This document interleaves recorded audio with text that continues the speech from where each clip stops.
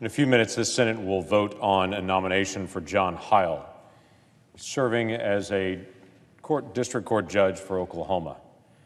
We have three areas Northern District, Eastern District, Western District in Oklahoma. This judge position covers all three of those and moves to wherever there's the greatest need.